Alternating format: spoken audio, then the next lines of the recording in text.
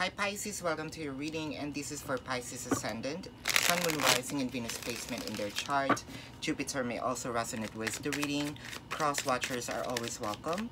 Cross watchers, if I describe someone and you know that it is not you, it is not you just because you are connecting with Pisces, you're gonna assume that whom I'm describing here is you.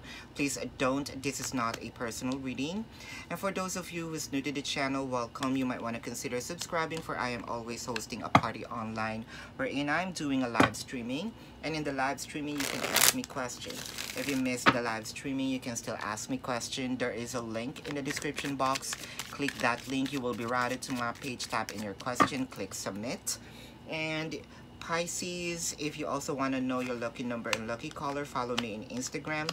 If you also want to know, that's dated October the 22nd to the 30th.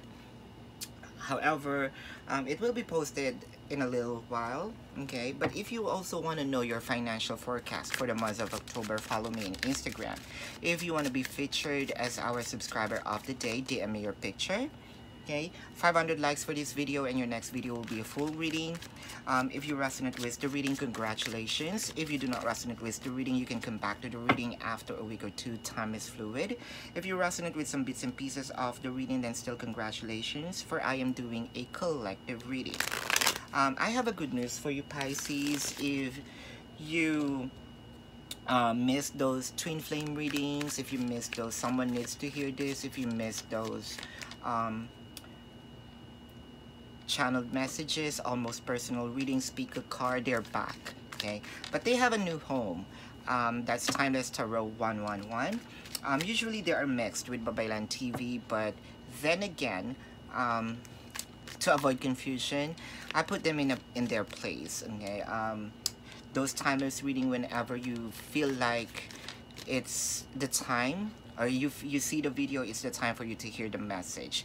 I hope to see you there and I hope that you subscribe. Let's begin Pisces. Pisces, your first card is the Knight of Pentacles and the Page of Cups. So, I can see here that although that this connection is slowly moving, no, um, but I can see here, Pisces, that you are being secured, you know, um, this could be you. You're securing the person or you someone is securing you about this connection. There might be a lot of fish in the ocean but someone is just um, let's say someone is just um, wanted to one person. Someone would like to offer their cup to one person. So the interest here is not with the fishes the interest here is someone that is above that um, you know overflowing ab about this you know chaos in the waters. Um, I can see that the King of Wands is here and the Nine of Pentacles. So this person is about to give you their uh, full trust their full um, communication. Nine of Pentacles is here wherein someone you'll someone will going to communicate to you that will make you real really happy. Um, and this is also probably the thing that you are that you have been waiting for for this person to say it. Um, something here probably a plan for both of you. Or someone here already made a plan. But this is the time where the person is um, going to reveal it. So is this a proposal? Is this you know cohabitation? Is this like getting together? Is this making this connection go to a different level? So whatever it is um, it, it it will go in your favor. Um, again this could be you this could be the cross watchers cross watchers if you feel like this is your reading so be it. And the Pisces if you feel like you are in the cross watcher side so be it. Uh, I'm not reading which side you at. I am reading the energy. I can see here that Ace of Cups an overflowing love right? Um, will be given to you. Will probably be discussed. So I can see here probably tying up together. Um, probably also the person will tell you about their honest um, feelings about you. You might be probably you know feeling indifferent because it's slowly moving but now they're gonna give it to you. Probably this is slowly moving for quite a while now. You might be connecting with a Virgo or has a Virgo placement in their chart or you have a Virgo placement in your chart but this person is already enlightened now. Um, they now have a full trust in this connection. They take a leap of faith to entirely put their trust um, in the connection.